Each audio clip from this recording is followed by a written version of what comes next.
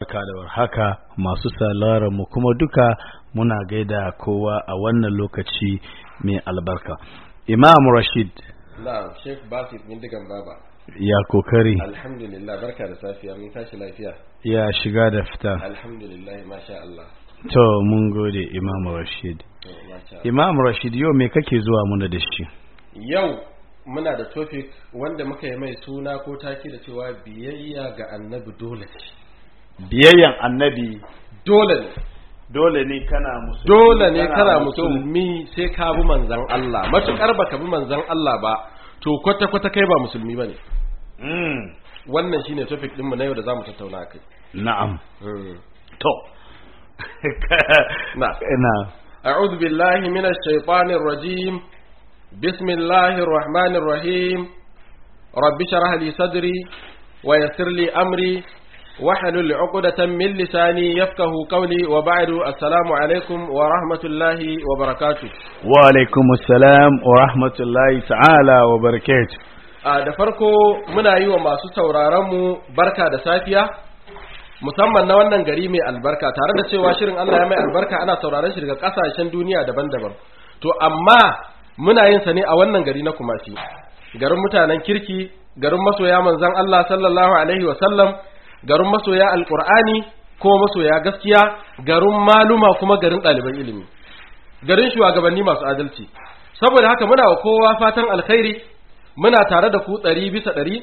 Ƴan uwa da suke ta kiran waya da masu zuwa har gida muna gaisawa Allah ya saka muku da alkhairi muna tare da ku insha Allah ɗari bisa ɗari. Saboda haka Allah ya saka kowa da alkhairi magabatan mu kuma da suka rasu kama tun daga malamai iyaye shugabanni Allah ya ji kansu da rahama. Amin. a taken shirin mu na yau shine biyayya ga annabi dole ce. Biyayya ga manzo Allah sallallahu alaihi wa sallam matuƙar kai musulmi ne to ba ka da zaɓi sai ka bi manzon Allah. Sallallahu alaihi wa sallam. Matukar baka bi manzon Allah ba to ba musulunci kake ba. Wani abin da kake yi daban. Na'am. saboda haka ka makalkale wa manzon Allah a duk inda kake a komai na rayuwarka kai koyi da manzon Allah da umarnin alkur'ani kuma ka bi manzon Allah sahu da kafa saba wa manzon Allah sallallahu alaihi wasallam hatsari ne kamar yadda ayoyin alkur'ani za su nuna mana. Sannan bin manzon Allah ba zaɓi ba ne wajibi ne umarni ne Allah yake baka baka da zaɓin cewar sai ka ga dama zaka yi. Saboda haka amma muna so mutane su fahimci tsakanin biyayyar manzan Allah da kuma biyayyar wasu maluma daban waɗanda ba su taɓa ganin manzan Allah ba manzan Allah bai taɓa ganin su ba. Biyayyar Allah shine biyayyar manzan Allah. Biyayyar manzan Allah shine biyayyar Allah kamar yadda ayoyin alkur'ani za su bayyana mana a cikin wannan littafi mai tsarki.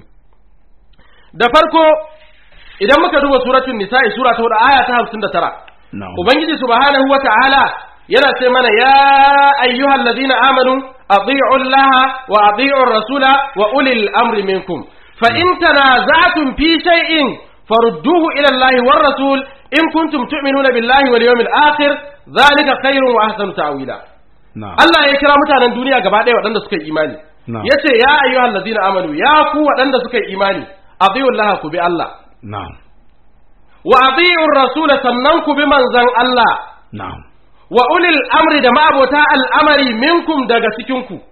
Fa in tanaza'tum fi shay'in idan kuka yi jayayya akan wani abu to farudduhu ila Allah ku mayar da shi zuwa ga Allah war rasul zuwa ga manzon Allah amma fa da sharadi in kuntum tu'minuna billahi wal yawmil akhir idan kun zama cewa kun yi imani da Allah kun yi imani da ranar ƙarshe. To malam inda maganan ka ya kai inda nake da magana kenan. na. In ji Ubangiji. Subhanahu wataala ya ce ya ku tattara muminai duka baki duka baki ɗaya bai rage ko ɗaya ba. Ko ba haka ba. na'am Ku bi Allah, na'am ku bi annabinmu annabi Muhammad. sallallahu alaihi wa sallam Sannan ku bi ainihin shagabanninku. Shuwaga- ma'abota al'amari an gane Shagabannin nan kai barin yi clear. na Wa ulil amri minkum. na In aka ce ulil amr na minkum na su ne suwa. to ai yanzu za mu yi bayani sanka sanka za mu biyo ayar tun daga farkon ta ba iya ulil amrin za mu ɗauka ba tun daga adi'ul lahan wa adi'ul rasula har a zo kan ulil amrin wa Allah yake nufi? Tare da cewa lokaci mai tsaho malamai suna ta budin a gurin nan. Ana kai goro ana kai mari. Daga an juya sai a ce maka adi'ul lahan alqur'ani. Wa adiyur rasula tunda an yaza fi sai ya zama abin manzon Allah sai a ce wai shine hadisi. Tunda ba sunan hadisin a nan gurin ar-rasul aka ce. Kuma ar-rasul mutum ne shi kuma hadisi a takarda yake. Wa adiyur rasula wa ulil amri da ma'abota umarni minkum daga cikin ku. Saboda haka in aka ce adiyul laha Baka a ga- nahawu za a ce wa adiyur rasula. Ai adafi akai saboda haka abubuwa ne daban-daban. Sai mu ce a nahawu kenan. Amma baka koma balaga ba kenan. Baka ga aikin da annabi yake yi shine hadisin nan ba. Ai kwata-kwata wayanda suka rubuta littattafan mun faɗi shekarun haihuwarsu kuma za mu ƙara faɗa. Ba su ga manzon Allah ba sallallahu alaihi wasallam bai taɓa ganin su ba. Kai ko wanda ya ga annabi ma ba su gani ba da yawansu. Saboda haka a ina za su zama annabi? A gane bambancin? Wayannan littattafan wayanda suka yi su daban.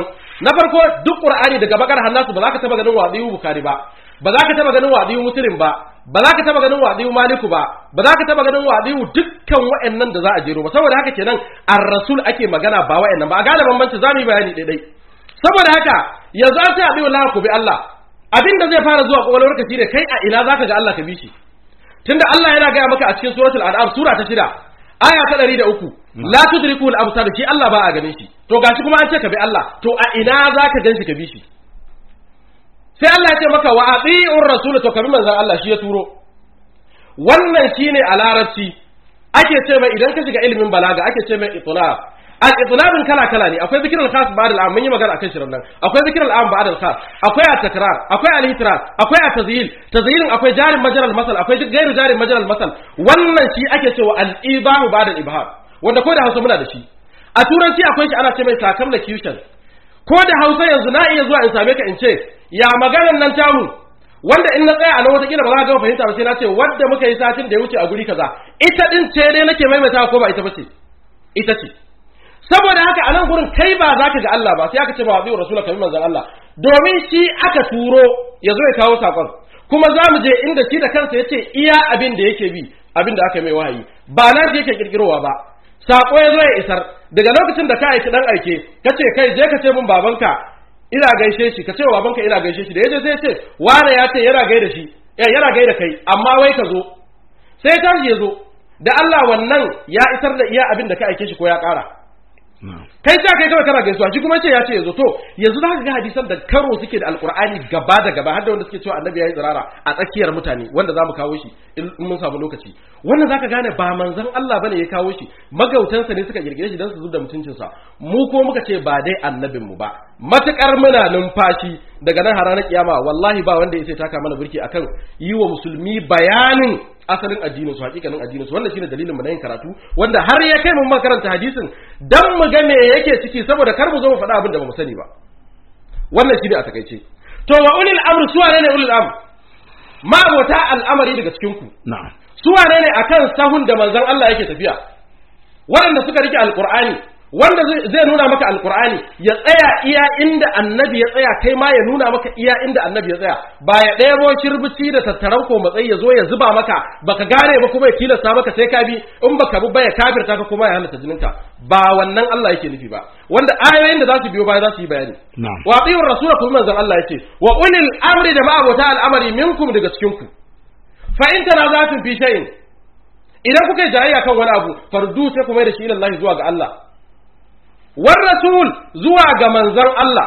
Me yasa nan ga bai ce farado ilallah kawai ba ya kara kuma manzo Allah.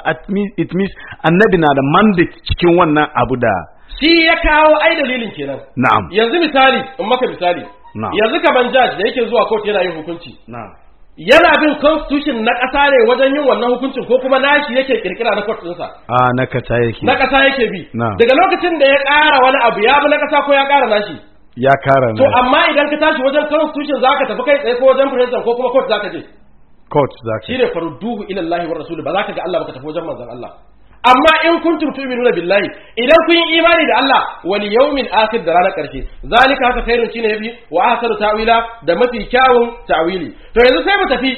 Abin ɗaya ne ko ba ɗaya ba ne? Ayar gaba za ta yi mana bayani a cikin suratul ali imran din dai wato a suratul nisa'i sura ta huɗu. Aya ta 80 ubangiji subhanahu wataala ce mana mai yuti rasul faqad aba Allah. Wanda ya bi manzon Allah hakika ya bi Allah. Har yanzu wannan bai tabbatar maka da cewa abin guda ɗaya ba ne wannan an gaya maka al-ibahu ba'da al-ibham ne wanda akwai shi a cikin alqur'ani. Akwai inda Allah yake cewa wa qabaila ilayhi zalika al-amr. Sai muka hukunta musu wancan al'amari inda a tsaya a nan zaka gane sai aka ce anna dabira haula maka zuwa muslimin akwai wanda yare akwai shi. Ka kawo tushen magana sai ka bi ta sala sala ka da ita. An gane? To wanda ya bi Allah ya bi manzon Allah. Wa man tawalla fa ma arsalnaka alaihi mafiza amma wanda ya juya bai bi ka ba ba mu aiko ka ka kiyaye shi ko ka rubuta sunansa ba mun mun san shi mun san kowa ne ne shi. wa yaquluna ba'a suke cewa al'amarin mu ba'a ne amma fa idza barzu min indika idan sun fita daga gurinka bayyata ba'i fatu min ghayra alladhi taqul sai su canja abin da ka faɗa ko su kwana da wani abin da ka faɗa wato wani abin da ka faɗa ba abin da ka faɗa ba kenan su yi kokarin su caccanja kai ga abin da ka faɗa daban su kuma su caccanja maganar ka tun a zamanin manzon Allah wannan yake faruwa غير الذي تقول والله يكتب ما يبيتون amma Allah yana rubuta duk abin da suka caccanja fa a'rid anhum Allah ya ce kai dai ka kauda kai gaban su wa tawakkal Allah ka dogara da Allah Wa kafa billahi wakila Allah ya sai wakilce ka a ko ina ko kana nan ko baka nan. Afala yatadabbaruna alquran? Wajen mutane ba su tadabburin alqurani ne? Walau kana min indi ghairi Allah idan da daga gurin wani Allah yake ba Allah ba la wajadu da sun samu fi a cikin sa ikhtilafan saɓani saɓani saɓani kasiran mai yawa kamar yadda ake samu a littafi ɗaya kaga wannan ya ce ai gabar wannan magana ta ce ai yamma yanda zaka gane ba na Allah ba ne ba. To sai mu gane zuwa suratul nisa'i. Wato sura ta huɗu. Daidai kan aya ta 92 inda ubangiji subhanahu wataala ko kuma ce suratul maida sura ta biyar aya ta 94 wa atiiu allaha wa atiiu rasula wahdaru ku bi Allah wa atiiu rasula ku manzan Allah wahdaru ku kiyaye ku yi taka tsantsan. Wani zai zo ya ja ka ya ce ga ta inda ake bin manzan Allah kuma ba ta nan ba ne. Shi yasa Allah ya ce ku yi taka tsantsan. Fa in tawallaitu amma idan kuka juya fa alamu ku sani annama kadai ala rasulin ala rasulin dal balagul mubin. Shi manzon mu isarwa kawai ya zo yi ba ya zo karawa ba ne. Ala rasulina akan manzon mu al balag isarwa ne al mubin mai bayyanawa ya maka bayani baya kara ko ɗaya iya inda Allah ce in ka kara kuma kanka. To idan muka je suratul anfal sura ta 8 aya ta biyu sai Allah yake cewa fattaqullaha wa aslihu zata bainakum. Ku ji tsoron Allah ku gyara tsakaninku. Wa ati'ullaha ku bi Allah. Anan bai kawo ma wa ati'ur rasulahu ba kawai sai ce rasulahu. Saboda tabbatar maka magana ɗaya fa ake yi. In kuntum mu'minina idan kuna da imani. A aya ta gaba sai mu je suratul anfal sura ta 8 din dai aya ta 20 ya ce ya ayyuhal ladina amanu atiiu llaha wa rasulahu wa la tawallaw anhu wa antum tasma'un. Ya ku wadanda suka imani ku bi Allah. Wa atiiu rasulahu bi manzon Allah. Ko kuma ana ce maka wa rasulahu da manzonsa. Kaga nan ma ba a kawo wa din ba sai aka haɗe maka su. Saboda ka gane abu ɗaya ake magana wala tawallaw anhu ba ma a kawo anhu ba ba. Sai aka kawo damiri ɗaya dan ya tabbatar maka shi fa saƙon nan da ya zo isarwa. Wala tawallau anhu kada ku juya masa wa antum tasma'una alhali kuna ji. To iya ayan ayoyin ne suka yi bayanin biyayya ga manzon Allah a ayoyin na da yawa a cikin alqur'ani. Haka idan mun je suratul nur sura ta 24 aya ta 54 inda ubangiji yake cewa qul atiiu allaha wa atiiu rasul ku bi Allah ka ce musu ku bi Allah wa atiiu rasul sannan ku bi manzon Allah. Fa in tawallau amma fa idan kuka juya ko ce ba za ku bi manzon Allah ba. Fa inna ma kadai abin sani alaihi wa mila abin da aka dora mai yana kansa. Wa alaikum ma umiltum kuma abin da aka dora muku yana kanku. Shi annabi ba aikin ka ya zo yi ba ya zo yin nashi ne kai ma naka ka zo yi ba na manzon Allah ba. Shi ne fa alaihi ma umila wa alaikum ma umiltum amma ku sani wa in tudiuhu tahtadu. Idan kuka bi manzon Allah kun shiryu. Amma karawa yake Allah ya ce a'a wa ma ala rasul illa al balagul mubin. Shi manzon Allah isarwa ne kawai aikinsa a bayyane. Sai mu ƙara zuwa suratul qital ko kace suratul muhammad. Sura ta 47 ayat 33 inda ubangiji subhanahu wataala yake cewa ya ayyuhal ladina amanu atiu allaha wa atiu rasula wa la tubdilu a'malakum. Ya ku wadanda suka imani ku bi Allah ku bi manzon Allah wa la tubdilu a'malakum kar ku bata ayyukanku. Sai mu je suratul tagabun. Sura ta 64 aya ta 12 yake cewa wa atiu allaha wa atiu rasul ku bi Allah ku bi manzon Allah. Fa in tawallaitum idan kuka juya kuka ce ba za ku bi manzon Allah ba. Fa inna ma ala rasulil balagul bin kusan cewa manzon isarwa kawai ya zo yi ba ya zo karawa ba ne ba. Har Allah yake ba da a suratul ali imran sura ta 3 aya ta 33 zuwa ta 32 zuwa ta 30 da da uku tun daga aya ta 31 32 33 yake cewa qul in kuntum tuhibbunallaha. Ka ce musu in kun kasance kuna son Allah to fattabi'uni ku bi ni. Manzo Allah za ku bi idan kuna son Allah. Yuhibbukumullahu Allah zai so ku idan kuka bi shi. Wa yaghfir lakum dhunubakum sannan zai muku gafarar dhunubinku wallahu gafurur rahim domin Allah mai gafara ne kuma mai jin kai. Kul ka gaya musu a nan sai aka ce atiullah war rasul ba a kawo atiu din na biyu ba. Kawai atiullah ko bi Allah sai aka ce war rasul kawai aka yi adafin manzon Allah din. Saboda menene? Al ibahu ba'da al ibham hunaka idnabun. Wa zalika al ibahu ba'da al ibham ake ta maka bayani. Abu ɗaya ne amma ta ya zaka gane a matsayinka na dan adam tunda ba ganin Allah kake ba. An gane? Fa in tawallaw fa inna Allah la yuhibbul kafirin. Amma idan kun juya ku san cewa shi Allah baya son kafirai. To sai mu ƙara zuwa suratul nur sura ta 24 aya ta 52 wa man yuti Allah wa rasulahu wanda ya bi Allah kaga ba kawo adiu ba sai aka ce wa rasulahu domin da adiu din ɗaya ne. Wa yaksha Allah ya ji tsoron Allah wa yattaqihi sannan ya masa takawa fa ulaika humul faizun su ne masu babban rabo. To a nan din da ya gurin cikin suratul ali imran din yake cewa fattaqun naral lati uiddat lil kafirina. Ku bi fattaqun naral lati ku ji tsoron wuta wadda wannan ce an yi tanadin ta ga kafirai. Wa Allah sai aka ce ku bi Allah. War rasula kawai aka kawo maka manzon Allah. La'allakum turhamun da manzon Allah dan Allah ya ji kanku. To a iya nan ne ayoyin suka yi bayani? A a ayoyin suna nan da yawa kamar yadda muka faɗa duka a cikin alkur'ani mai girma. Ai alkur'ani shi ya zo ya umarni da bin manzon Allah. Kuma wanda ya bi alkur'ani shi ya bi Allah. Wanda ya bi wani littafin da ba alkur'ani ba sai ya faɗa wane ne ya ce ya bi shi? Babu umarnin bin hadisi kwata-kwata tun daga farkon alkur'ani har ƙarshe kai umarnin rubuta shi ma babu. Saboda haka wani zai tambaye ka wa ya fara wannan aqidar ta bin alkur'ani ɗaya? An fara ta lokaci kaza an fara ta lokaci? A'a manzon Allah ne ya fara. Aya za ta yi mana bayani. Kafin mu je kan ayar sai Allah yake faɗa mana wato ya ce wa aqimu salata wa atu zakata wa abiu rasula la'allakum turhamun. A cikin suratul nur dai sura ta 24 aya ta 56 sai mu ƙara zuwa suratul mujadala sura ta 58 aya ta 13 ya ce fa idza lam taf'alu wa taba Allahu alaikum fa aqimu salata wa atu zakata nan ma wa ati'u Allah wa rasula bi Allah da manzansa bai kawo adiu din bai kawo maka wa rasulahu. Me yasa maluma ba su kawo wayannan ayoyi sai dai aje wa adiyu Allah ku bi Allah wa adiyu rasul ku bi hadisai nan ku ba Qur'ani wa ulil amri ku bi su a ina? Annabi wannan maganar. Bai taba kama sunan Bukhari ba har ya bar duniya. Bai kama sunan Muslim ba har ya bar duniya. Bai kama sunan Maliku ba ba wanda Allah bai san za su zo ba ne ba. Yanda ayoyi za su yi mana bayani a gaba manzon Allah ma kan ya zo sai da aka ce yana zuwa? Da wasu annaba irin su annabi Ishaq irin su annabi Yahaya. Kafin su zo duniya sai Allah ya ce ga sunan zuwa. Amma a bar musu katon aiki irin wannan. Nasur su za su fassara qur'ani. Har da wanda wasu wai su annabi bai iya rubutu ba su suka iya rubutu Allah bai taba faɗan su ba. Jama'a ku fahimci cewa an canja muku addini. Ku fahimci musulunci yadda yake. To a nan din da muke magana akai sai mu ƙara koma suratul nisa'i sura ta huɗu aya ta 115 sabawa manzon Allah hatsari ne inda Allah yake cewa wa man yushaqiqir rasula min ba'di ma tabayyana lahul huda. Duk wanda ya saba wa manzon Allah min ba'di ma tabayyana lahul huda bayan shari'a ta bayyana gare shi. Min ba'di ma tabayyana lahul huda wa yattabi ghayra sabilil mu'minin sannan ya ba hanyar da ba ta mu'minai ba. Nuwallihi ma tawalla wa rusulihi jahannam. Wa sa'ad masira kaji jahannama za a sashi wanda ya wannan aiki. To sai mu kara zuwa suratul anfal. Mu ƙara jin bayani akan hatsarin sabawa manzon Allah. Sura 8 aya ta 13 zalika bi annahum shaqullaha wa rasula. Wadancan Allah ya ce su ne waɗanda suka saba Allah wa rasulahu da manzansa. Ashe sabawa da ya ce kana sabawa Allah ka sabawa manzon Allah. Kana sabawa manzon Allah ka sabawa Allah. Ba wai kana iya ka sabawa Allah ba tare da manzon Allah ba? Ko kuma ka sabawa manzon Allah ba tare da Allah ba. Ɗaya ne. Wa man yushaqiqi Allah wa rasulahu duk wanda ya saba wa Allah da manzansa fa inna Allah shadidul iqab lalle Allah mai tsananin kamu ne. Sai mu kara zuwa suratul qital ko kace suratul muhammad sura ta 47 aya ta 32 innal ladhina kafaru wa saddu an sabilillahi lalle waɗanda suka kafirta suka kauce wa hanyar Allah. Wa shaqur rasula suka saba wa manzon Allah min ba'di ma tabayyana lahumul huda. Bayan shari'a ta bayyana a gare su lan yadurullaha shay'a ba za su iya cutar da Allah komai ba wa sayuhbidu a'malahum sannan da sannan Allah zai bata ayyukan su to sai mu je suratul hashri ita ma tana bayani akan hatsarin saba wa manzon Allah. Suratul hashri ita ce sura ta ainihin 59 aya ta 4 Allah yake cewa zalika bi annahum shaqullaha wa rasula. Irin waɗannan su ne waɗanda suka saba wa Allah wa rasulahu da manzansa. Wa man yushaqillaha duk wanda ya saba wa Allah fa inna Allah shadidul iqab lalle Allah mai tsananin kamu ne. Kaga nan an ce shaqullaha wa rasulahu ko? An kawo rasul.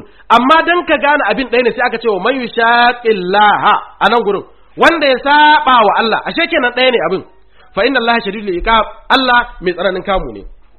To yanzu sai a tambaya wannan fahimta ta bin alkur'ani kadai yaushe ne aka fara ta? Sai ka ce manzon Allah sallallahu alaihi wasallam shi ya fara ta da duk sahabbansa baki da yaushe ne? Sai ka duba suratul yunus sura ta goma aya ta goma sha biyar.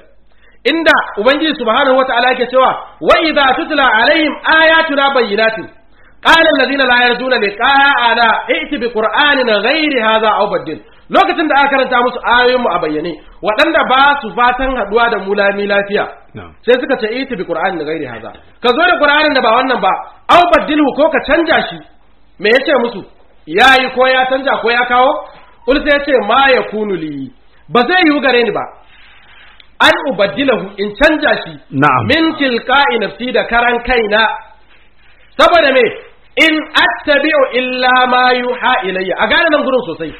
Babu abin da nake bi sai iya abin da aka yi mun wahayi. Me aka yi wa manzon Allah wahayi? Ya faɗa maka a cikin suratul ma'ida ko in ce maka a cikin suratul an'am sura ta shida aya ta goma sha tara ya ce wa uhiya ilayya hadha alqur'anu li unzirakum bihi wa man balag to a nan yake gaya maka in attabi'u babu abin da nake bi illa ma yuha ilayya sai iya abin da aka yi min wahayi. Kenan manzon Allah shine ya fara bin alqur'ani kadai. Idan kuma akwai wani littafi wanda manzon Allah ya bi bayan alqur'ani a lokacin sa da Allah kowane ne ka ce ya gaya maka wannan littafin. Shi kuma littattafan nan shi manzon Allah kun tabbatar bai rubuta ba. Sahabban da kuka ce kalifan farko sayyidina Abubakar bai rubuta ba wanda ya ce kama littafin da ya rubuta. Khalifa na biyu kace sayyidina Umar ba wanda ya sai kawo. Khalifa na uku aka ce sayyidina Usman ba wanda ya sai kawo littafin sa khalifa na huɗu aka ce sayyidina Ali ba wanda ya sai kawo littafin sa matan annabin da aka ce suna ruwaya sai Aisha duk ba wanda ya sai kama littafin ko ɗaya wayanda aka ce su goma na amusu albishir da aljanna asharatul bashiruna bil janna ba wanda ya sai kama littafin su ko guda ɗaya ba wanda ya sai kama littafin sahabbai kakaf. Ba littafin littafin tabi'ai sai aka je kan tabi'u tabi'i sai a ce ai khairul quruni qarni thumma allazina yalunahum thumma allazina za mu zo bayanin wannan wurin. An fahimta? To gashi nan gurin an kawo ƙasar ƙasar a ilimin balaga shine a taƙaice abu iya abin da shi kake yi kake magana akai wanda akwai nafi da isbati a ciki. Akwai a takadimu ma haƙo ta akhir nan gurin sai ya ce in attabi'u ai ma attabi'u illa ma yuha ilai ba na bin komai sai kadai abin da aka yi mun wayi ittiba a nan shine makasur ma yuha ilayya shine makasur alai. Kasar sifatin ala mausuf ne wannan. Kasar sifatin ala mausuf to saboda haka manzon Allah shi ya fara wannan fahimta. Inni akabu ina sai to rabbi azabu yawmin azim. Saboda mai to shi manzon Allah ya ce baya bin komai sai iya abin da aka yi mai wahayi. Saboda shi wa ma yantiqu anil hawa a cikin suratul najmi sura ta 53 aya ta 3 ya ce shi baya furici bisa san ransa. Haka kawai ya ga dama yayi magana.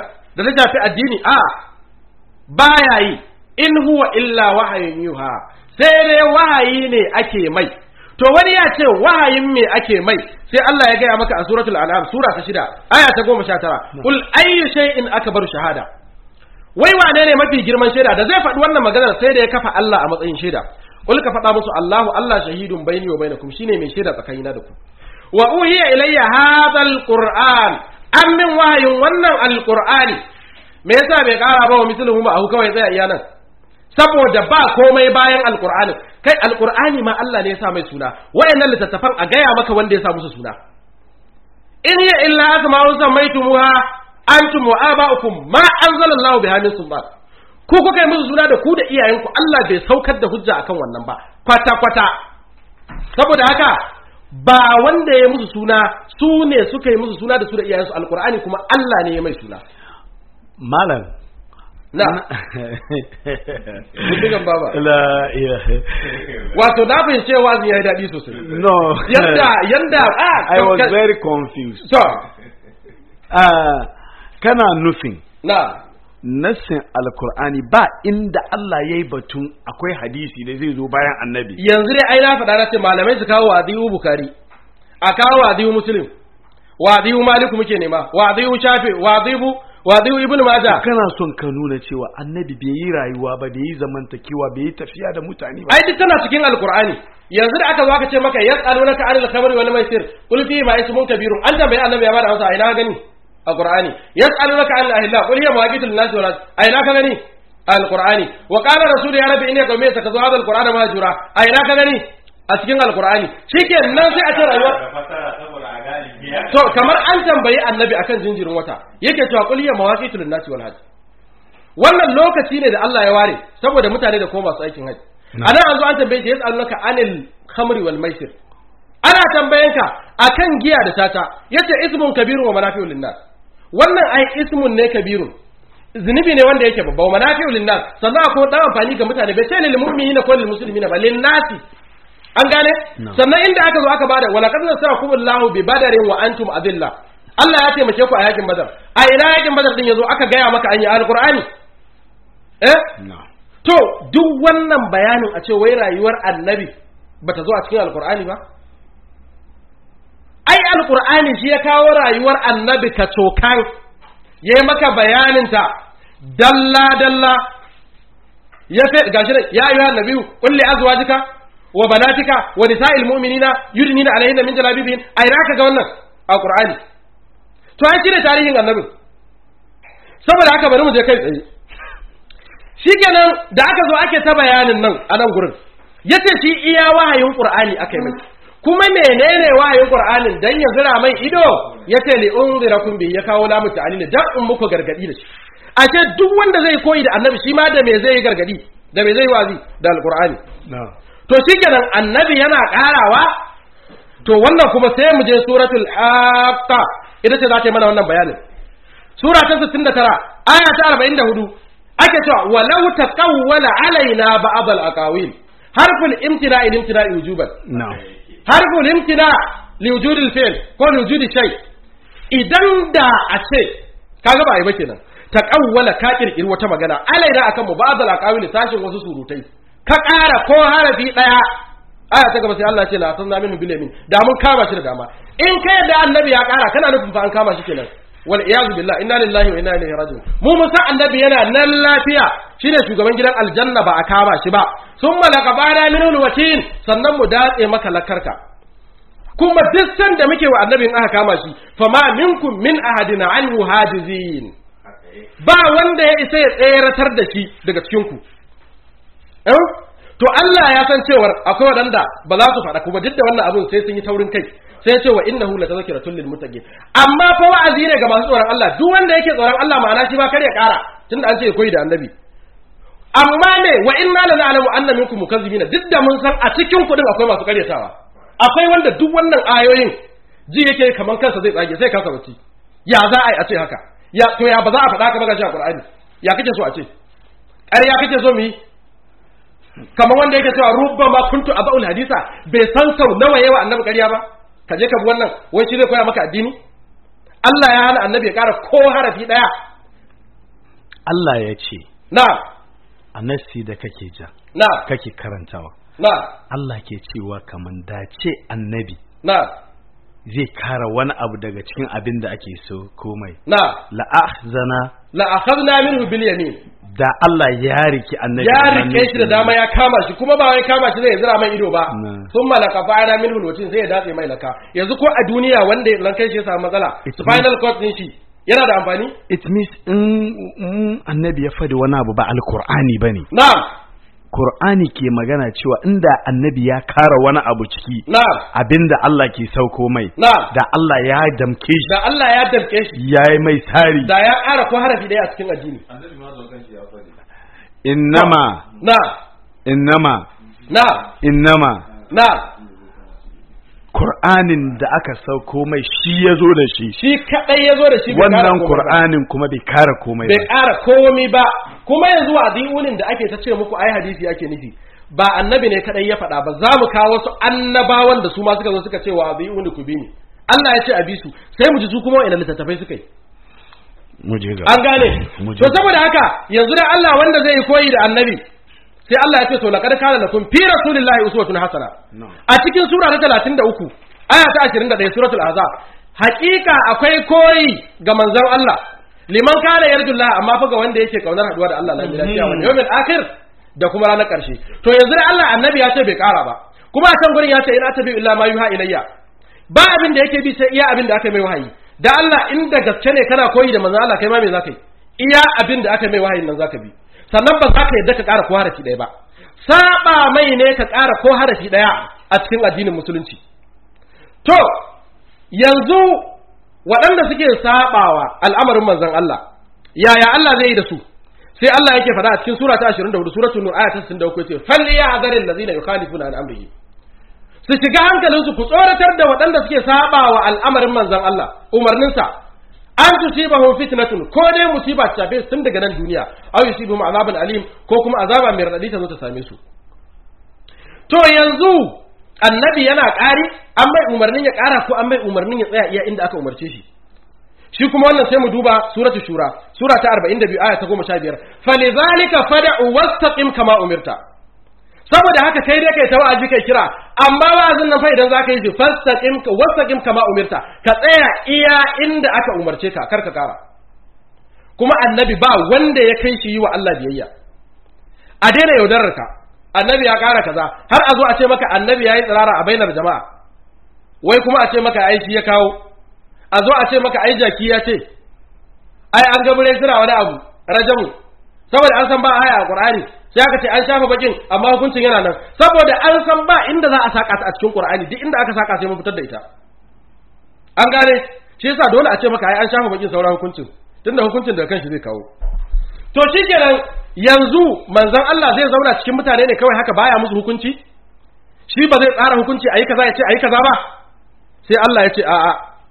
Fala wa rabbika la yu'minuna hatta yuhakkimuka fi ma shajara bainahum.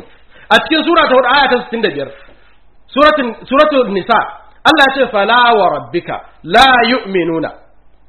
Ina rantsuwa da ubangijinka ba su yin imani su mutane hatta yuhakkimuka har sun ne sai sun kawo maka hukunci sun ne maka yi musu hukunci. Fi ma shajara bainahum a cikin sabanin da suka samu a tsakaninsu. Sun ma la yajidu fi anfusihim harajan sannan kuma an kai hukunci ya zama ba su ji wani kaikayi ba. Mimma qabaita daga abin da ka hukunta. Wa yusallimu taslima sannan kuma suka miƙa wuya da hukuncin da kai asalin miƙa wuya suka yadda. Malamai suka zo suka yi ta bayani a gurin nan wani ne an yi menene a gona aka zo shari'a manzon Allah ya ce kaza. Kai kowa ne Allah ya ce manzon Allah ya mai hukunci ba iya wannan bayanin da kuke ba ne ba. Ya shafi kowane musulmi. To shikenan yanzu hukuncin ya kamata mu san da me za a yi. Tunda Allah ya ce a yi hukuncin to da bukari za a yi hukuncin ko da muslim ko da muwadda ko da fatahul bari ko da sunan abi dawud sai Allah yake faɗa mana a suratul ma'ida sura ta biyar aya ta 49 ya ce wa alaikum bainahum bima anzalallahu. Kai hukunci tsakanin su da me? Bima anzalallahu da iya abin da Allah ya saukar. Menene Allah ya saukar? Alqur'ani. A ce kenan ba da ba da wayancan abubuwan za a yi hukuncin ba. Wala tattabi ahwa'ahum kar ka bi soye-soyen zuciyarsu. Wa zarhum. Sannan ka tsoratar da su. Ka nuna musu su kula. An yaftinuka an ba'd ma anzalallahu ilayk. Ka su fitine ka akan sashin abin da Allah ya saukar maka. Saboda akwai wanda zai zo ya ce shi ba da qur'ani yake son hukuncin ba sai da wani abu daban. Allah ya riga ya sani. Fa in tawallahu fa alama ma yuridu Allah an yusibahum bi ba'd bi ba'd dhunubihim wa inna kathiran min an-nas lafasiqun to a iya nan ne Allah ya ce a hukunci da alqur'ani sai mu ƙara duba suratul maida sura ta biyar aya ta 48 inda Allah yake cewa wa anzalna ilayka alkitaba bil haqqi musaddiqan lima bayna yadayhi min alkitabi wa muhaiminan alayhi. Sai ce me? Fahkum bainahum bima anzalallahu. Kai musu hukunci da me? Bima anzalallahu da iya abin Allah ya saukar. Me Allah ya saukar? Alqur'ani. Kenan shi ma manzo Allah in zai hukunci da alqur'ani yake hukunci. Wala tattabi ahwa'ahum kar ka bi sarransu amma ja'aka min alhaqqi akan abin da ya zo maka na gaskiya. Alqur'ani alhaqqu ne alhaqqu min rabbika fala takun minal mumtarin shi kuma wancan an ce an cakuda an cakuda an cakuda wai ka ware. Wasu sun zo sun ware waɗanda fa suke ingantawar. Su ce ga da'ifi ga sahihi ba su taba ganin manzon Allah ba shi ma bai taba ganin su ba. Ba kuma annabi aka kai wa ya ware ya ce ga sahihi ga da'ifi ga nawa ga wanda ba nawa ba. Tambayar da zaka fara yi su kansu masu ingantawar waye inganta su? Allah ne ya ce sun inganta? Da suka zo suke ingantawa? Kawai su zaɓi wanda ya dace da son zuciyarsu su inganta. Wanda ya saba son zuciyarsu su ƙaryata. Shi yasa muke gaya muku mun kawo muku hadisin da ba wanda yake aiki da shi duk duniya. Hadisin da yake magana akan ɗaukan hoto. Duk duniya yanzu ake aiki da wannan hadisin. To yanzu sai mu ƙara gaba. Sai mu ga cewar yanzu wani ya tambaye ka to a ina zaka ga manzon Allah kai koyi da shi? An gane? Shi yasa Allah ya ce maka ulul am yanzu tambayar da zaka yi lokacin da manzon Allah ya zo ai an mai wahayi a suratul nahl sura ta 17 aya ta 123 ya ce summa awayna ilayka alittabi millata ibrahima hanifa. Sai muka yi wahayi zuwa gare ka anittabi millata ibrahim ba ka bi addinin annabi ibrahim. Yanzu manzon Allah lokacin a ina ga annabi ibrahim ya bi shi? Eh? Ko sun yi zamani ne? A kenan Allah ya san ya tabbatar da aikinsa. Tunda ya ce fa in yakfur biha haula'i faqad wakkalna biha qauman laysu biha bikafirin Allah ya san ya tabbatar da aikin ya san ba za ka gan shi ba kuma ya ce ka bi shi. Mu ma dukkan mu an ce mu koyi da shi. Saboda menene? A ina za mu ga wannan suratul mumtahana? Sura ta 60 aya ta 4 qad kanat lakum uswatun hasanatun fi ibrahima. Ku din dukkan ku sai mun yi koyi da annabi ibrahim. Inda Allah ya jero annabawa da yawa yake cewa ulaiikal ladina hada Allah fa bihudahu muqtadi. Ai koyi da shirye su a ina zaka gansu ka bi su? Sai dan Allah ya san ya tabbatar da aikin su. Shi yasa duk wanda ya zana tambayar ka aikin haji an ce safa da marwa an ce ayi dawafi. Ka gaya mai lokacin annabi ibrahim ai wa idza wa anal ibrahim makala baita Allah ta shirbe sha. Wa tahir ba ce ne taifina wal qa'imina rukai. Tun lokacin annabi ibrahim ake aikin haji. Bukari ne yayi maza ya riga iyayensa da kakanninsa zuwa duniya ya je gurin annabi ibrahim ya mai bayanin aikin haji? Ko muslim ne yayi maza ya riga iyayensa da kakanninsa zuwa duniya ya je wa annabi ibrahim bayanin aikin haji abin yana da asali a daina rudarka. Sanka sanka muke bi da kaɗan kaɗan za ka gane. Saboda haka a nan gurin Allah ya ce ai koyi da annabi Ibrahim ina za ka gan shi? Shi ma ce bi annabi Ibrahim a ina zai gan shi? Allah ya san ya tabbatar da aikinsa shi yasa ya ce ka bi shi. Tunda ba zai ce ka ba abin da ya san babu shi ba. Wanda bayani zai biyo baya insha Allah. To yanzu annabi isarwa yake yi ko yana karawa sai Allah ya gaya mai a cikin suratul ma'ida sura ta biyar aya ta 67 ya ayyuhar rasulu balligh ma unzila ilayka min rabbika. Ka isar da iya abin da aka saukar maka daga gurin ubangijinka. Ashe iya shi aka ce isar. Shi kuma annabi wa ma huwa ala al-ghaibi bi dhanin a suratul takwir sura ta 71 aya ta 24 shi akan abin da yake gaibi na wahayi idan aka mai wahayi bi dhanin ba mai rowar magana ba ne ba. Aya ba za ta zo ta sauka? Ko kuma sai an kawo alkur'ani Allah ya umarni da kaza annabi ya shiru ya ki gaya kowa ba. Zai gaya maka an saukar da aya in bai faɗa ba ka sani? Shine gaibin da ake gaya maka ai. A lokacin da ba a kawo mai ba gaibi ne a gurinsa Allah ne ya sani. In aka kawo mai ya zama ba gaibi ba a gurinsa amma gaibi ne a gurin sauran musulmi dan ba sani ba. In ya faɗa ya zama kowa ya sani. Shine ma huwa al gaibi zani to yanzu abin da za mu yi magana shine dama mun gaya muku in hiya illa asma'un sammaytum wa antum aba'ukum ma anzalallahu biha min sultan. Wayannan dillin tafan da ake ta cewa ku bi su suka sa wa kayan su suna ba Allah ba ne ya sa musu suna.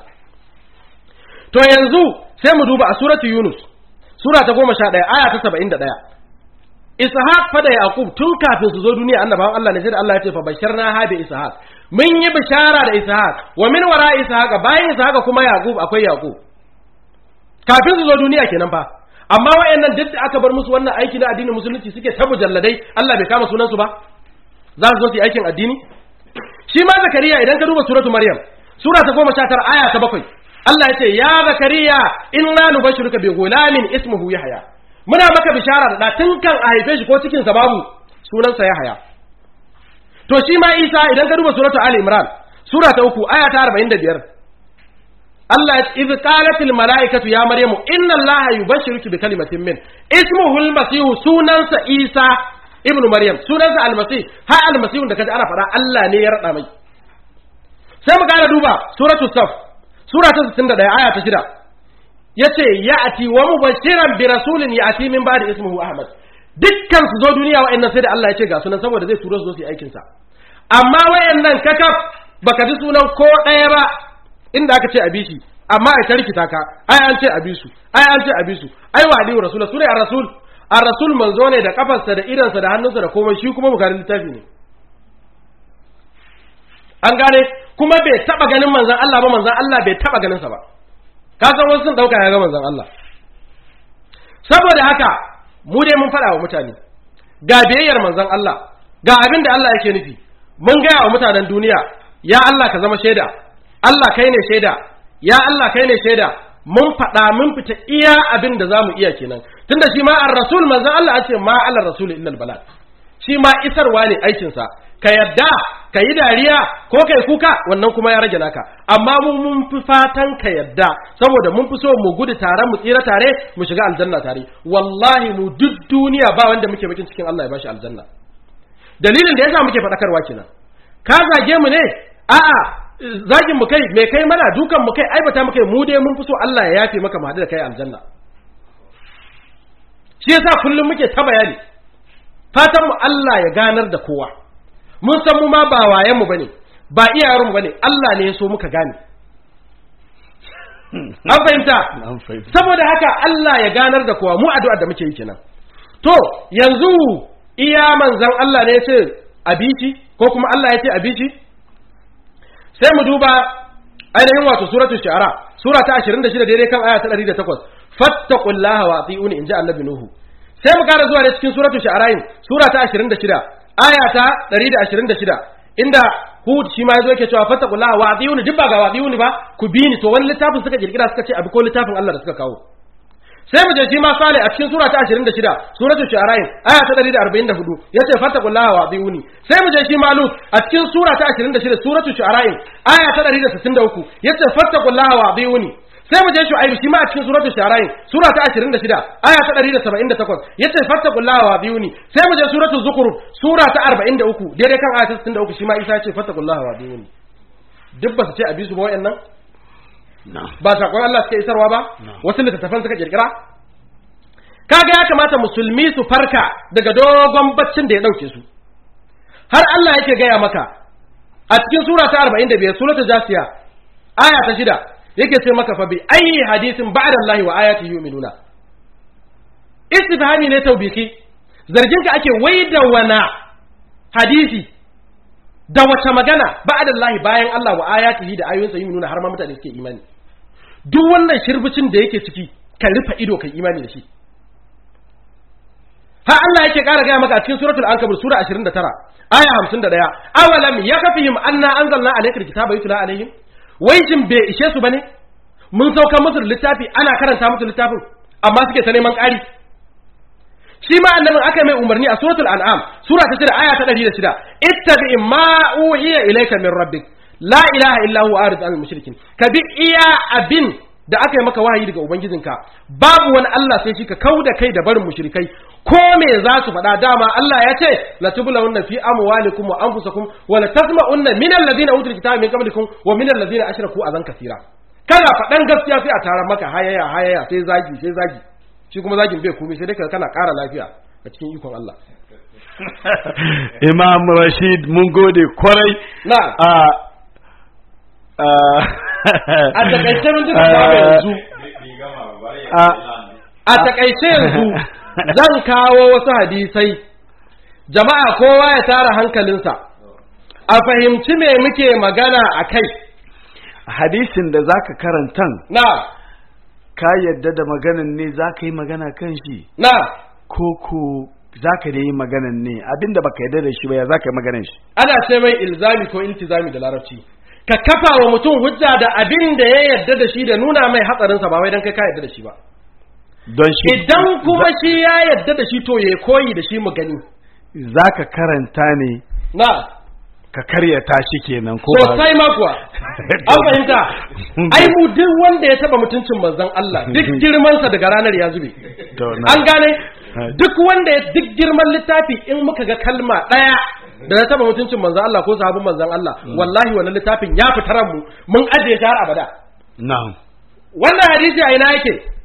A duba sahihul bukhari hadisi na 364 ya ce haddathana madar bin al-fadl qala haddathana rawu qala haddathana zakariya bin ishaq haddathana amr bin dinar qala sami'tu jabir bin abdullah yuhaddithu anna rasulullah sallallahu alaihi wasallam كان ينقل معهم الهجارة للكعبة وعليه إزاره فقال له العباس عمه يا ابن أخي لو هللت إزارك فجعلت على منكبيك دون الهجارة قال فجعله على منكبيه فسقط مغشيا عليه فما رؤي بعد ذلك عريانا صلى الله عليه وسلم mu kuma sai mu ce inna lillahi wa inna ilaihi raji'un za mu fassara wa waɗanda ba su jin larabci ko kuma waɗanda ma suke ji don tunatarwa domin su gane me aka kunsa a nan gurin.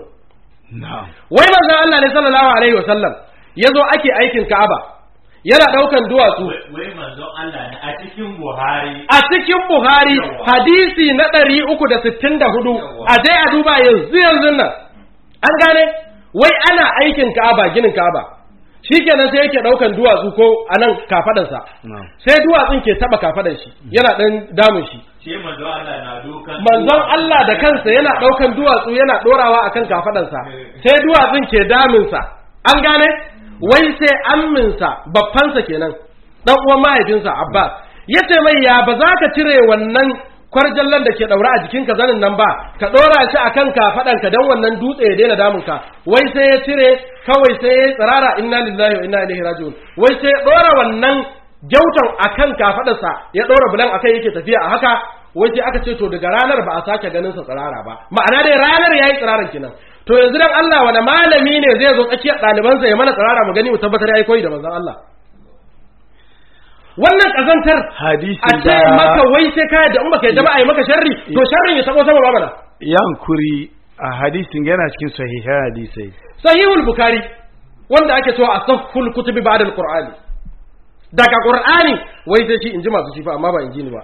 A gafarce ni. Na'am. To sai hadisi na biyu shi ma da aka ce wai annabi ya tashi wai tsirara. Shi kuma a cikin turmuzi na'am.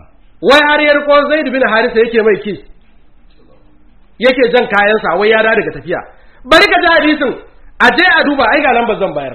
A je cikin turmuzi hadisi na 2700 da 32 ko a duba hadisi na 2951 ya ce haddathana Muhammad bin Isma'il qala haddathana Ibrahim bin Yahya bin Muhammad bin Abbad al-Madani qala haddathani Abu Yahya bin Muhammad am Muhammad bin Ishaq am Muhammad bin Muslim az-Zuhri ya ce an urwata bin zubair.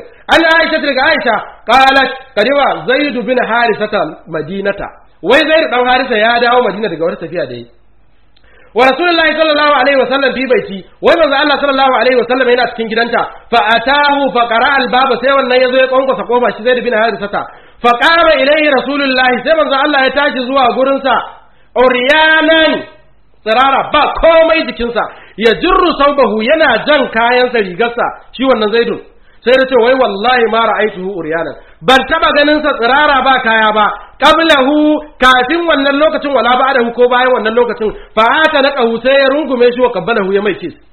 Qala abu isa har abu isa ya ce hadha hadithun hasanun. Wannan hadisi ne sa hasani. Sai mu ce billahi alazim la ilaha illa huwa. Tirmidhi ka ji tsoron Allah. Wannan abin ba a yi shi ba. Kai mabiyin tirmidhi ka ji tsoron Allah. Ka ƙyale tirmidhi ka bi alqur'ani. Ka gane wane ne Allah. Ka gane wane ne manzon Allah. Ka san mutuncin manzon Allah. Ka san mutuncin iyalinsa. Ka san mutuncin sahabbai. Ka daina wa musulunci yarfe. Ka daina mana kage. Ka daina sharri. Ka kwantar da hankalinka ka bi alqur'ani. Matakar kana so ka zauna lafiya. Wannan shine a taƙaice. Hadisan na da yawa. Ban san ko lokaci zai ba da dama in ta kwararowa ba. To yanzu ga wani hadisi kuma. Na'am. Wanda shi kuma wannan hadisin kamar yadda muka faɗa yana magana akan rajamu shi ma a cikin bukari a duba hadisi na 3849 haddasa nu'aym ko a duba cikin fatahul bari mujalladi na bakwai shafi na 160 ya ce shafi na 1600 afwan.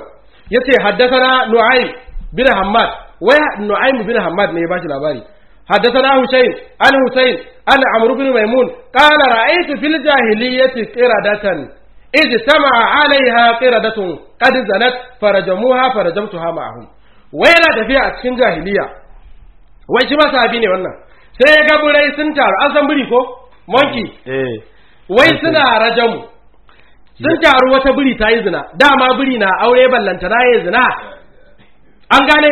Kuma ya aka yake jin yaran su da har suka gaya mai wannan zina tai an gane? Sannan dama suna aure ne? Sun taru suna mata rajamu sai ya haɗu suka yi rajamun tare. Ba inda Allah ya ce a jefe mazinaci. In faɗe shi cikin hausa rajamu shine a ce mutum ya yi zina mai aure. Sai a zo a tara shi mutane su ɗebo dutsuna a dinga jifan shi da dutsunan har ya mutu. Wannan hukuncin babu shi a cikin ƙur'ani daga bakara hannasi ba inda Allah ya ce a yi shi ba inda manzon Allah ya ce a yi shi. Duk wanda ya yi shi ya fita daga ƙur'ani ne ya tafi wani guri dan yana so ya yi kisa. An gane? Rajamun aka yi madiri wannan eh wai biri ne. ya zina dama yana aure ne. Kuma wa yake jin yarensa? An gane? Da ya gaya mai cewa wannan zina tai jama'a dabbobi ne za a riƙa cewa sun kawo muku addini. Bayan Allah ya aiko manzon Allah Allahu fa yastafi min al-mala'ikati rusulan wa min nas. Allah shi yake zaɓen manzo daga cikin mala'iku ya zaba daga cikin mutane. An gane? to. Ina gaba a lokaci da mun je kai ridatul kabiri inda aka ce idan wani garsa keken kato ya zo yana shiga gidanka kana jin haushin shi baka so ya shiga.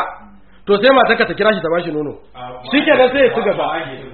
To to Allah a kafin shek ba ta ce kafin shek ba ta bin dagan baba ka buɗe samun za mu roki al'umma da maluma.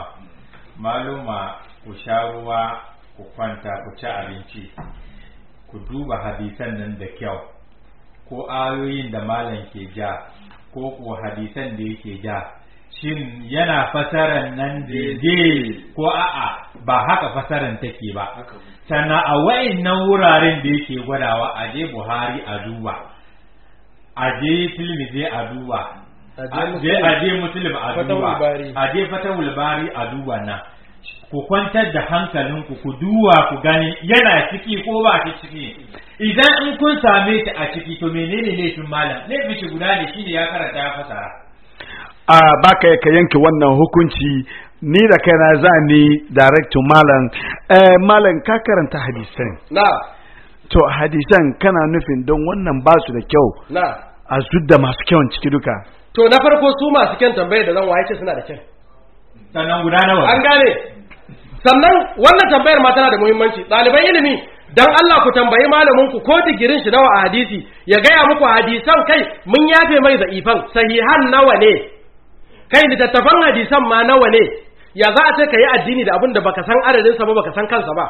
Alqur'ani yana da sura 114 yana da aya 6214 a wata kira da 36 a gaya maka hadisai nawa ne?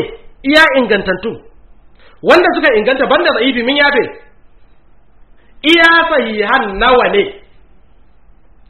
Ba wanda ya isa baka wannan. Kai ma za ka yi ya ka shigo ciki ka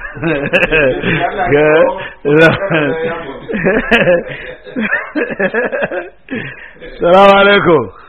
Wa alaikum salam wa rahmatullahi wa barakatuh. Muhammad bashiru ababu. To. To malam mun gode da hidima da kake mana na kuma ana wani tambaya ne a cikin suratul nisa. Na'am. Aya da ke cewa wa in hifta an la tuksitu fil yatama fankihu ma taba lakum minan nisa'i masna wa thulatha wa ruba. Fa in hifta ala ta'dilu. To wannan aya aya kai min fasara kingi akan wadiul laha wa wadiul rasul muke magana. Ba magana aure muke ba wannan aya muna nan ma zo kan shi. Na'am. To a kai ma ka iya ka shigo ciki. Salamu alaikum. Wa alaikum salam wa rahmatullahi ta'ala wa barakatuh. Sunan ka da kake kira? Abubakar ina kira daga korongo. To. Dare na yarda da Allah. Kuma na yarda da zuwa Allah sallallahu alaihi wasallam. Tun na son tambayi malam. Bin baba. Na'am. Shekaran ai shekaru da mai radio station. Shehu Zuwan so ya yi muna tafsiri ya nuna muna sunan matan annabi da Na. yaran annabi. Wannan kuma da ya nuna muna na cin hadisi ne. Ashe kan ɗan dai wanda ke amince da hadisi in zuku ne. Kankan malamin mu shayarwa ne kake. Wannan da ya kuma salamu alaikum. Wa alaikum salam. Salamu alaikum. Wa alaikum salam. Sunan ka da kake kira? Sunana audu tukala suna kira da kafa zaria to. Allah yi muna na'am tambaya nan malam eh ula fawo rasulu suna nan kuwa? Na. To shi kenan mun ji har da ya ba. Bawo rashirin suna nan? Na'am. Ai kai ma kula bawo rashirin ne inda ka ba Allah. Saboda haka okay Musa ban annabi gaba ɗaya muna mutunta su. Allah ya ji kansu mu kuma Allah ya kara mana lafiya. Saboda haka ka bi Allah aka ce kawai wannan Allah ba zai tambaye ka kula fawo rashirin a lahira ba. Assalamu alaikum. Wa alaikum salam wa rahmatullah. Na'am baba Saidu tafi zamfara. Ina kun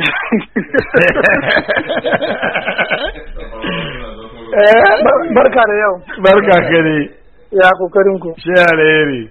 To Allah ba mu duka fahimta. Amin. To hadisan ke karantawa da ayoyin ke karanta. Tambayar da zan yi wani ya min tambayar nan studio to masha Allah. To shin gaskiya ne ko dai karya ne? Hadisan. me kenan ko gaskiya? Ina son gwada hadisan da kake karantawa da kake fassara wannan da hadisin suran da kake karantawa kake fassara wannan. Eh. Shi tambaya na kenan. Suran gaskiya ne hadisin ne ƙarya. Kai kuma in dan tambaye ka da Allah ka yarda annabi yayi tsirara a bainar jama'a tsakaninka da Allah? Subhanallah. Wannan dai ba ne da ba gaskiya ba masha Allah to mun zama ɗaya da kai kenan. Ni ma ban yarda. Salamu alaikum. Amin. Wa alaikum salam wa rahmatullahi wa barakatuh. alhaji muhammadu akram Dindigan baba. na'am. Allah kiya ka muna gaida Malam Rashid. Amin. Sannan muna gaida Tasulwa na kuɗi ba wasa ba. Saboda Allah wani ya shigo yana maganan batun shakkan ruwa ba batun shi muke yi ba. Ka muna wani fitina. Ka ce a fitinan nan kanka. Ba batun shakkan ruwa muke yi Ba. Batun karatu malam ke yi game da hadisan da ba su da kyau. Da yadda gudun lamarin Qur'ani Na. to malam ni kan bayana ne ba. Na. malam Qur'ani ya ce mazalinta ko mazinata sun shiga wutan jahannama su turba su fita. Na. Hadisi kuma ya kawo da sun fita. Na. yanzu hadisin da Qur'ani wanne gaskiya nake tambayan malam malam muna bayani saboda Allah. Salamu alaikum. Duk wanda ya zo ya ce maka ai idan aka shiga wuta za a fita suna kafa hujja da sai a ce maka ai wani gurin an ce khalidina fiha ba a ce abada ba. Sai ka ce shedan ma akwai inda aka kawo aka ce fa kana aqibatuhuma annahuma fi nari khalidaini fiha. Ba abada a gurin in dai rashin abada yake sa a fita shedan ma zai fito kenan. Mun gode. Saboda haka wannan na san kai kanka kayan ke hukunci. Salamu alaikum. Wa alaikum assalam. Na'am sunanka da inda kake kira. Tijjani ne daga kwamai. To ka daga muryanka kadan to Allah kiyaye malam. Amin. Amin. Eh don Allah malam nan gane ne fa muke. Aha. Gane fa masana na nan cikin ganen nan. Na'am. Saboda Allah kaga kawo muna abin da kuke yi Najeriya. Na'am salamu alaikum. Wato idan mutum bai da hujja ya shiru kawai. Salamu alaikum. Wa alaikum salam. Ka daga muryanka wal jama'a. A gaishe ka bindigan baba. Na'am. Ina gaida malam Rashid. To yana ansa. Fadawun alfari da suka da masu saurara alfari amin. Ubangijin Allah muke roƙo ya kara muna fahimta. Insha amin Allah amin amin. Yau karatun malam malam ya kara bari na fahimci. Allah shi ke da hukunci constitution shi da ya aiko manzon Allah da shi. Na. Ya gwada ma manzon Allah limitin da zaka tsaya na. Ka wuce nan ka bi nan. Na. Ka ce ma mutane na ce musu na ce musu musu kaza. Na. Umurni ne daga Allah. Umarni ne daga Allah. Lokacin da za a samu wani abu daban da za a faɗi cewa shi manzon shi kuma ya yi nashi daban. Na. To ka za ka gan wannan kuma ya zan wani abu daban kenan. Allah kiyaye mu. Amin. Allah tambayar da nake son malam ya kara muna bayani. Na. Mun san kuma manzon Allah sallallahu alaihi wasallam. Na. To annabawan da suka zo Allah ya sunnata musu sunnoni. Na. Muna son malam ya bambanta mana wayannan sunnoni da wayannan hadisai da wayansu kuma na dangana sunnoni nan da hadisai. Wannan a wal jama'a tambayan kan gashe sabon mako lokaci ya tafi za mu ba last caller privilege. Salamu alaikum. Wa alaikum salam wa rahmatullahi ta'ala wa barakatuh. Sunan ka da inda kake kira. Suna na Abdul Aziz ina magana sai a kan na'am. Na yawa tambaya ne da malam kaman ba. Na. Sai maganan ka ma'aurata. Na. Izina na kamar misali ina magana kamar ya inganta ko dai bai inganta ba. A yi mana wata baya ma'aurata sun yi zina a yi me? Dan kan misali kai ka ji ayoyi kamar ma'aurata. Na. Ya ce zina ko dai na halali ko dai haramu ne. Haramun ne ba ma'auraci ba da mai aure da mara aure abin da muke so a fahimta hukuncin su ɗaya ne. Allah azzaniyatu wazani kawai ya ce mazinaci da mazinaciya ba wanda ya ware duk wanda kaga ya ce a jefe shine kawai dama yake so ya kisa ya rasa yanda zai yi ya raba wa addinin musulunci hukuncin ya ta'addanci. Amma ba inda Allah ya ce a kisan mazinaci. Saboda haka a taƙaice akwai karatu da muka yi abin da ya shafa akan sallah na ɗaya da na biyu da na uku. Idan mutum ya hau YouTube insha Allah zai yi downloading zai ji amsoshin tambayoyin shi har da ma wanda bai tambaya ba da wasu karatukan daban. Akwai masu suka TV akwai Qur'an online TV akwai Malam Gaya TV da sauran karatuka gaba ɗaya mutum zai iya downloading a wannan guri ya ji. Saboda haka muna masu sauraron mu fatan alkhairi. Allah ya saka wa kowa da alkhairi. Baban mu Sheikh Ridwan Allah ya kara mai lafiya da ma'aikatan wannan gidan rediyo baki ɗaya. Allah ya albarkace mu ya albarkaci wannan gari mai albarka da kuma sawa baki ɗaya. Wa alaikum salam wa rahmatullahi ta'ala wa barakatuh. Eh, jama'a muna son mu gaya muku koko muna da bayani. In ka shigo cikin layi in muna program mu kaka jawo wanda ba shi ciki kuma bai magana kan wanga ainihin al'amari ka sa ciki. Sheikh Redwan yana zaman matsayin shi business ma kuma malami ne da kanshi da almajirai da dama kasan ga suka san kamar malami su ne. Don shi in yana bayanin shi bayanin shi daban. In malam kuma ya zo da nashi bayani nashi bayani daban. Wannan ba shi zaka ba kai zaka hada shairuduwan da bayanin da malam ke yi ba. Don shi muna roka in ana program in zaka shigo don Allah ka san abin da zaka zo ka faɗi kaka dangana shairuduwan da programun da muke yin ga. Salamu alaikum wa rahmatullahi ta'ala wa barakatuh. Malumma mu na sautul furkan su kuma za su zo su dura mu nan zuwa karfe goma salamu alaikum بسم الله الرحمن الرحيم